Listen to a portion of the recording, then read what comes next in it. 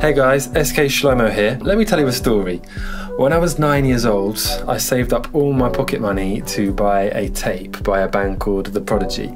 The tape was called The Prodigy Experience, and I loved that tape. I listened to it so many times until it fell to bits. And there's something about the kind of ravey dark synths and crazy drum breaks and um, like mashed up ragga vocal samples that just took me to another world. I just felt like I had like superpowers. And I just remember like studying the liner notes and looking at the, the label, right? XL. I remember looking at the logo for XL Recordings and thinking, one day I'm going to release my tape on XL Recordings. I felt so inspired. Uh, I had this tape recorder, so I, uh, I hit record on my tape recorder and I started drumming these crazy beats on my drums. And then I snuck into my brother's room and I stole his tape recorder so that I could hit record on that recorder and play on the one that I just recorded my drums on. And then I could record my vocals with me like rapping over the top. And I started making these songs with this kind of nine years old dream of, of, of releasing this music out to the world. And you know what? Fast forward a little while, and not a huge amount has changed. A lot of my dreams have come true. I have been a professional musician for a little while, and I've been able to collaborate with a bunch of my heroes, and I've been able to perform and have my voice heard on some of the world's most prestigious stages. But one thing that really hasn't changed since I was nine years old is me releasing my tape, my music out to the world is still very much a fantasy. It's a dream that I've never pursued, mostly due to simultaneous fear of both failure and success. Yeah, not much has changed. I'm still sat here pretty much day after day. The technology's changed a little bit. I'm no longer using two tape recorders, but I'm still sat here kind of making up beats and, and vocals. And what's changing now is it feels like I'm I'm kind of ready to start sharing this music. So how do you do that? Well, you get signed to XL, right? Um, that sounds like a short answer. I'm not signed to XL. I am not the Prodigy or Adele. I'm just a normal guy. And I think People are sometimes quite surprised when they find out that I've never signed a label deal, just because some of the stages that I get to play on, most of the acts who kind of work their way up to that level have been signed and they have been releasing their music and they have, you know, that traditional pathway of record song, release song. People hear it on the radio, people want to go and watch that song being sung at the show. And I feel like I kind of sidestepped that whole process a little bit because I was always concentrating on creating an innovative and engaging live show. Oh, yeah! Oh, yeah!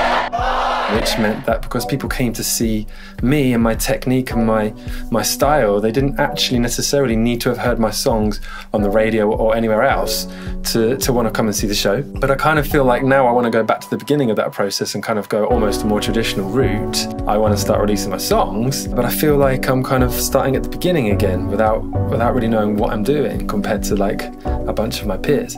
So I recently finished the first song off of this new solo project and I thought, you know what, I'm going to just send it to a couple of labels, distributors, and these kind of, you know, industry gatekeeper type people. And I was greeted by either a no thank you or just a, a, no response at all. And it got me thinking, you know, how much of a proposition am I really in a world where your data matters almost as much or even more than your music. So it's kind of like, well, how many millions of streams have you got on Spotify? And I'm like, well, no millions because I haven't released this project yet. So I'm an unproven entity and therefore it's a, it's a risky business for these companies to be investing in. And you know what? Anyone can go out and can release music onto Spotify and Apple Music and all those platforms. It doesn't cost a huge amount of money, but that means that lots and lots of people are doing it. Without proper investment into the promotion of the music, my songs could quite easily just get lost. It's a bit like opening a shop in your back garden and just putting up one sign saying songs for sale and expecting it to kind of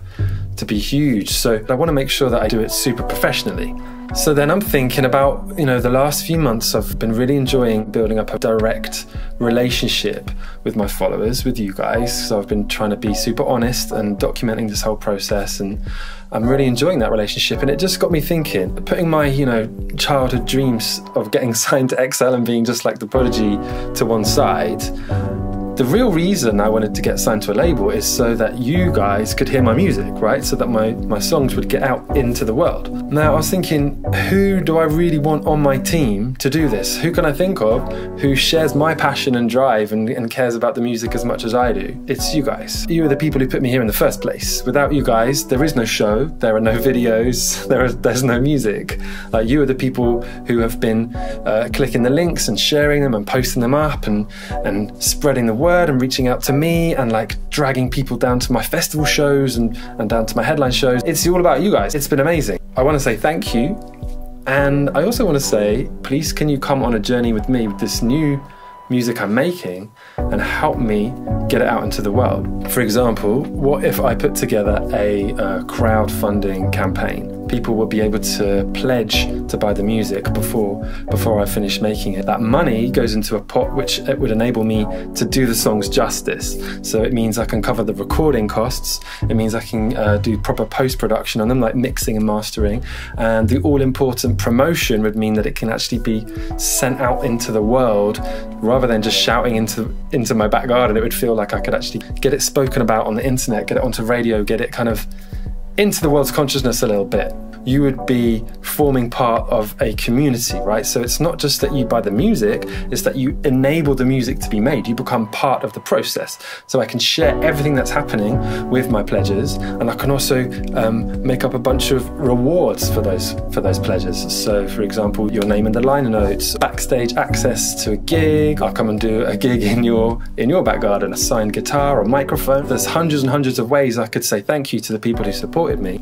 And it just feels like together we could harness the power of the collective and achieve way more than I could do just by myself. Some of my beatbox sisters, like Bellatrix and Grace Savage, they've both had fantastically successful campaigns uh, on Pledge Music. Um, and also another friend of mine, She Makes War, she's just reached her target to release her album using Pledge Music. And another friend of mine, Newton Faulkner, I watched his whole album campaign, all happening through Pledge Music. Felt like we were all part of the process with him. So yes, I would still love to live out my childhood dream of being signed to XL and sending my tape around the world. But the truth is, I'm not prepared to wait around for someone else to do the work work for me. I've always been someone who's driven and focused and um, able to kind of motivate a team to work with me. And I want you guys to be that team. But I am hesitating about whether or, whether or not to go ahead with this plan. I don't know if I have the strength to do this. Let me tell you why. Almost a year ago, I had a plan. Plan was I was going to create a 12 month pledge campaign, and every month I was going to um, record and release a new song for 12 months until after the year had passed, the album would be done. I thought, you know what, I've had a bunch of success in the past when I've had commissions to write to a deadline. I seem to be able to work quite well in that way. Like, I know I've got to get it written by certain dates. So I started telling myself that's the only way I'd be able to do it was with monthly deadlines to make me finally achieve this dream that I've had since I was nine years old. But it went horribly wrong. I, I locked myself away and I kind of said, I'm not allowed to come out of the studio until I've written these 12 amazing songs that are going to define me and define a generation and be the most important, amazing songs ever written. And that, to be honest with you, is a recipe for mental health disaster. It kind of, I just felt like I wasn't good enough. I'd come out of there every day, even though I'd been writing and creating, I'd come out of there feeling like I wasn't good enough to go through with this. So I had to pause. I had to to take all those deadlines off. I've been doing a huge amount of work on building up my strength and my um, my resilience. But I need to make sure I find a way to let this music out and to make sure I have a platform that I can regularly release and publish my work, but in a way that I don't feel like a failure when things inevitably vary from the plan um, which is what always happens in this crazy, beautiful world. Things never go as you expect, and and if you're in a place where you can embrace that and go with it, you can you can achieve amazing things. But if you're in a place where you're criticizing yourself because you said you were going to do this by this date, or you said you were going to achieve X, Y, and Z, and you haven't done it, you're not good enough, you're a terrible person. It's just not kind and it's just not safe. So I need to make sure this is safe for me. So that's where I'm at. Um, just like my nine year old self, I'm still full of dreams and hope and love and passion. Um, and I really feel like if we were to work together, um, we could really harness the power of the community, you know, the power of the collective and create something truly special. So, yeah, I'm feeling super hungry. I'm super excited.